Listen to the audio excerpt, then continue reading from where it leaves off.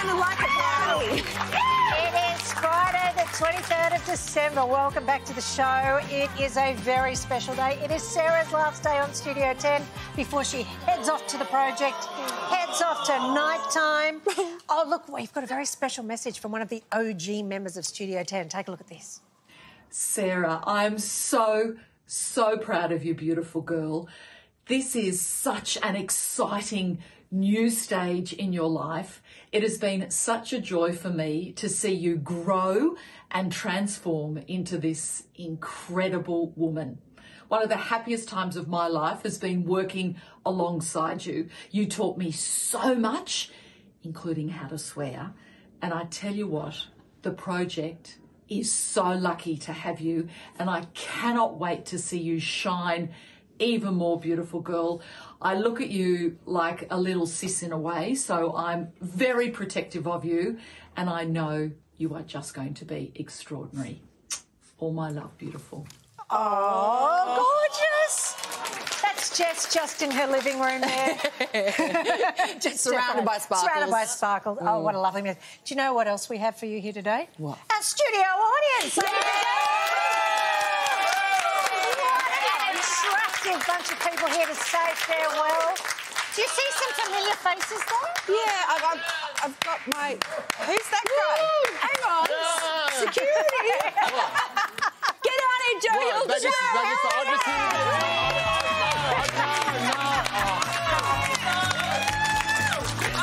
You got no, no. I just, I just, I just wanted to see. I just wanted to see the show. I just, I, thank you, Judy. Uh, oh, hi.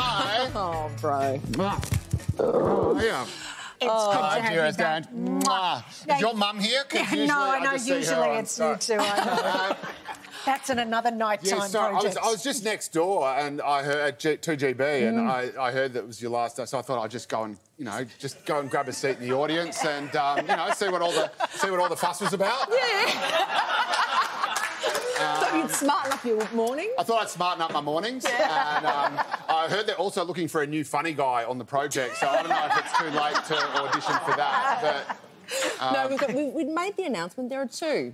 oh, have you? Okay. Yeah, well, thanks for thanks for noticing. I guess it would take two to compete with me. Oh, Joe, boy, Uh, so ya? nice to see you. Do you remember our first day? Yes, I do. Do you remember what you said to me just before we walked out of those Yes. doors? Are you really wearing that? You said, "What have we done?" can, can I just say? Can I just say? We're friends, right? We're all Yes. we're all dear friends on and off the screen, Yeah. right? Yeah. We've known each other, and even before the first day, we were friends, right? We knew each other, we looked out for each other, took oh, care oh, of we each other. didn't really know each other. Did either of you ever think to say anything about my goddamn hair? because I honestly look like I've just walked off the set of a Brylcreem commercial and stuck my. Do you remember we did a whole? We we, we Yeah. asked the audience whether you should have a, a makeover. Yes. And the result was a resounding no. So we did it anyway. That's right. and you know what?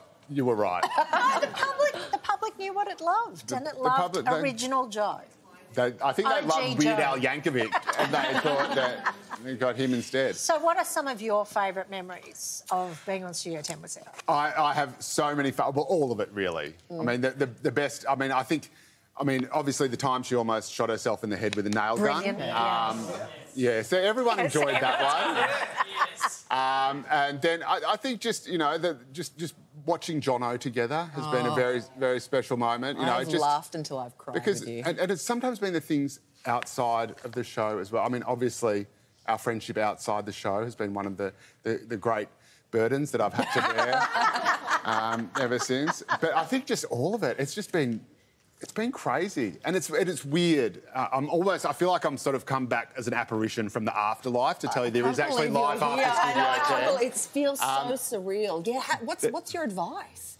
Because to leave a show like this, but you you know you But live you it, you guys breathe it. had all your kids I know. Yeah, during yeah. your time on Studio 10. Yeah. That's right. That's a really sort of pivotal thing. From Kalara, you're watching. I know you are. That's Joe's wife. And no, she's Yes. she's good. But yeah, no, we did have all our, our kids together. No, um, this show's been life changing. It, it has, yeah. No, look, my advice, um, uh, about leaving Studio 10 is don't do it. Just stay. um, as long as you can. I don't know if it's too late to make a phone call or something. Hey, what, what, how, I want to know how your podcast with Cax going. Have a yak with Cax. Oh yeah, have a yak with Kat. Yeah, that's terrific. Um, yeah, no, that's really good. Our first episode is about to drop um, whenever she returns my calls, and, and that's great. But yeah, no, um, she's Cax really, really well according to Instagram. She's got you on mute now. Um, She's got, she's got me on mute. Do you know what she calls? She listens to 2GB because I'm filling in. Um, um, do, I do summers and summer Doing a afternoons brilliant on 2GB. job, by the Thank you very much. Thank you very much. way. Excellent. But um, but she but she calls in like she texts in to to everyone on 2GB except me. So so she's you know she's calling up Mark Levy, going, hey, how are you? Yeah, just listen, love the show. Just you know playing some golf at Royal Sydney and thought I'd dial in. Terrific. And then you know the next an hour later, I'm trying to you know do some fundraising for Vinnie's or whatever. We had a radiothon thing going, and so I shoot Kak a little text message. Hey, oh. Kak, you want to want to give us a bell and call up on the show? Give us some cash. give us some cash? Must have been must have been caught in a sand trap. All right, I'm going to bring you. I'm going to bring you back. nothing. Bring you back to Sarah. Yeah, oh, sorry, yeah, You yeah. both grew so close, chatting yeah. On the I couch get all you for hot blondes mixed up. Yes, easy to do. Interchangeable. Anyway, Um, yeah. But uh, Sarah, you had some good fun pranking Joe. Oh, yeah. top. So Mm. here's, here's one of those moments.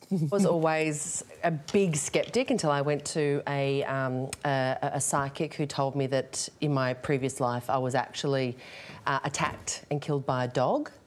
Uh, which I was like, yeah, right. And she goes, no, no, no. If you put your hand behind your neck, there's a scar on the back of your neck. No way. Yeah, feel this, feel this, Joe.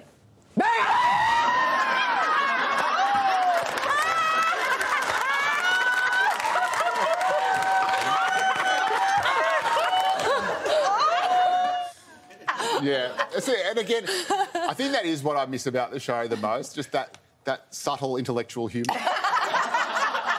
You don't get that on the other network. You don't get that anywhere else. That's really so don't. You, you guys hold him down and I'll scream at him. we'll see if he jumps. But yeah, it's true. Uh, because I do, I, I squeal like a girl. Mm. And that's not saying anything bad about girls. I know we live in a different... I, I, yeah, I scream at a girl with, with power and force and confidence. Yes, indeed. You can do anything, ladies. Um, but yeah, it was terrible. I went and saw a horror. I went, went- so I was going out with this girl uh, a few years ago before I married my lovely wife Tara. Thanks for watching. And um, and we went to see my first ever horror film at the movies, and it was absolutely terrifying. And I'd never seen a horror film. The girl said, "Oh, come on, don't be such a baby. Come and see a horror film." And the first, have- the Yeah. first big fright, I go, "Ah!" and then there's a voice from the back of the cinema, and it says, "Hey, mate, can you tell your girlfriend to keep it down?" Anyway, back to Studio 10. Yeah, Joe, have you brought have you brought a present for Sarah? Well, we meant to um, bring. Uh, I, I, I don't have anything on me at the time, but um, I do have something from. Um, you know, things change in television. I do have a present, a special message um, from one of my new colleagues. have a look. Sarah, Sarah, Sarah. Larry Emdur here from Celebrity Splash and Celebrity Dog School and the Morning Show. Uh, just wanted to wish you lots of love. So happy for you. This is such an exciting move. I know this morning TV thing can be an absolute killer. I've got to be in here at five minutes to nine, and I don't get to leave till 11:31. It's it's a mess. So, wishing you heaps and heaps of luck with your big move to prime time. Everyone is going to love you on a current affair. Lots of love.